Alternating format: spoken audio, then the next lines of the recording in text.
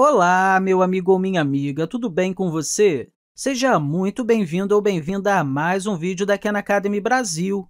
E nesse vídeo, vamos conversar sobre o gradiente e o contexto de um mapa de contorno. Para começar, vamos considerar que temos uma função multivariável, uma função de duas variáveis f de x e y, e que isso vai ser igual a x vezes y. Vamos visualizar isso com o mapa de contorno no plano x e y? Para isso, eu vou colocar aqui o eixo x e o eixo y. Isso aqui representa os valores de x e isso aqui representa os valores de y. Esse aqui é o meu espaço de entrada. Eu já fiz um vídeo sobre mapas de contorno, e se você não está familiarizado com eles, eu aconselho que você assista esse vídeo antes de prosseguir com essa aula.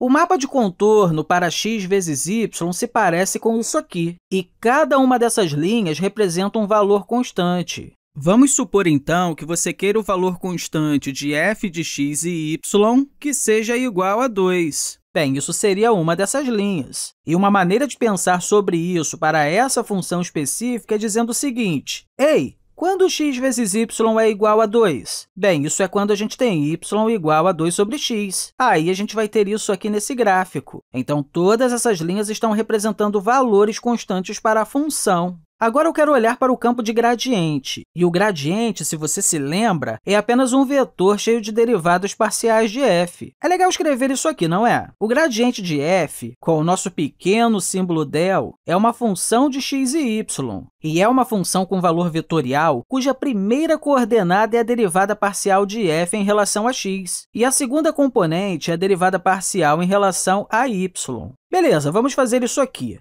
Quando a gente calcula a derivada parcial em relação a x, a gente precisa considerar o x sendo uma variável e o y sendo uma constante. Assim, a derivada de tudo isso é igual a essa constante y. Agora, vamos fazer o contrário disso. Quando a gente calcula a derivada parcial em relação a y, a gente considera o y sendo uma variável e x sendo uma constante. Assim, a derivada dessa função em relação a y é igual à constante x. É importante deixar claro aqui que eu estou falando constante x, mas isso é quando a gente calcula a derivada parcial, tá? É claro que quando a gente pegar essa função como um todo, x é uma das variáveis, é uma das entradas. Beleza, continuando aqui. Isso pode ser visualizado como um campo vetorial no plano xy também. Sabe, em qualquer ponto dado xy, por exemplo, o ponto x igual a 2, y igual a 1, temos aqui x igual a 2 e y igual a 1. Aí, nesse ponto, a gente conecta um vetor e observa o que vai ser produzido daí. Nesse ponto, o ponto é 2, 1. A saída acaba trocando os dois. Então, a gente procura aqui, de alguma forma, desenhar o vetor 1, 2. Ou seja, você espera ver aqui o vetor que tem uma componente x igual a 1 e uma componente y igual a 2, algo mais ou menos assim. Mas, provavelmente, isso vai ser reduzido por causa da maneira como nós geralmente desenhamos campos de vetores, ok? Eu estou colocando aqui agora para você todo o campo de vetores, que se parece com isso aqui. Eu vou apagar o que a gente estava fazendo aqui para deixar isso mais limpo, já que fica mais claro observar as coisas assim. Lembre-se, nós diminuímos todos os vetores e a cor representa o comprimento. Então, o vermelho aqui é super longo e o azul vai ser muito curto. E uma coisa que vale a pena notar é que se você der uma olhada ao redor de todos os pontos fornecidos, o vetor que está cruzando uma linha de contorno é perpendicular a essa linha de contorno. Onde quer que você vá, é isso que você observa. Observe aqui esse vetor. Ele é perpendicular a essa linha de contorno. Aqui, ele é perpendicular a essa linha de contorno. E isso acontece em todos os lugares. É bom deixar claro que isso acontece por um bom motivo e também é muito útil isso. Mas vamos pensar um pouquinho na razão disso? Para isso, vamos ampliar um ponto aqui. Eu vou apagar tudo aqui do lado para a gente ter um pouquinho mais de espaço para trabalhar, tá bom? Então, a gente pega esse ponto aqui e vamos ampliar para tentar visualizar aqui o que está acontecendo. Temos aqui algum tipo de linha de contorno. Não se esqueça que isso representa algum valor. Vamos dizer, então, que representa o valor f igual a 2. Claro, isso não é uma linha reta perfeita, mas quanto mais você aumentar o zoom, mais isso vai se parecer com uma linha reta. Aí, quando você quiser interpretar o vetor gradiente, se você se lembra, no vídeo sobre como interpretar o gradiente no contexto de um gráfico, eu disse que o vetor gradiente aponta na direção da subida mais íngreme. Então, se você imaginar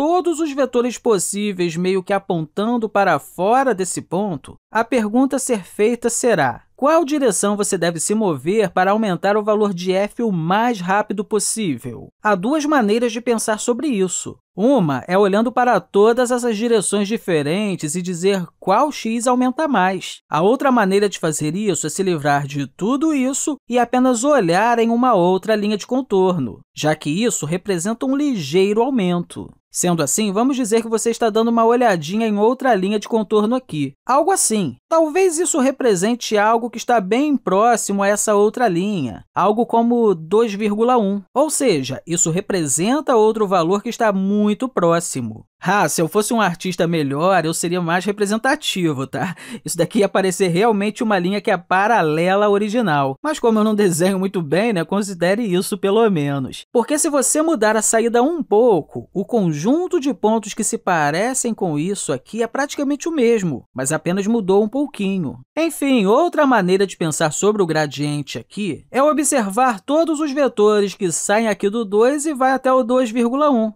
Ao fazer isso e observar todos esses diferentes vetores, você sabe me dizer qual é o mais rápido? Bem, dessa vez, em vez de pensar no mais rápido como vetores de comprimento constante, como se fosse uma constante de crescimento, vamos observar o que faz isso tendo uma distância mais curta. Qual desses apresenta essa configuração? Se você pensar nessas linhas como sendo retas aproximadamente paralelas, não deve ser difícil se convencer que a distância mais curta não vai ser qualquer um desses vetores. Vai ser aquele que os conecta de forma praticamente perpendicular com a linha original. Porque se você pensar nisso como retas, quanto mais você ampliar, mais essas retas vão ficar paralelas aparentemente. Assim, o caminho que conecta uma linha à outra vai ser perpendicular a ambas. Então, por causa disso, a interpretação do gradiente como a direção da subida mais íngreme é uma consequência natural do fato de todas as vezes que estiver em uma linha de contorno, onde quer que você esteja olhando, vamos ter um vetor realmente perpendicular a essa linha. Inclusive, você pode pensar sobre isso como se fosse uma forma de chegar à próxima linha de contorno o mais rápido possível ou seja, aumentando a função o mais rápido possível. E essa é realmente uma interpretação muito útil do gradiente em diferentes contextos. Então, é algo bom para manter em sua mente. Gradiente é sempre perpendicular às linhas de contorno.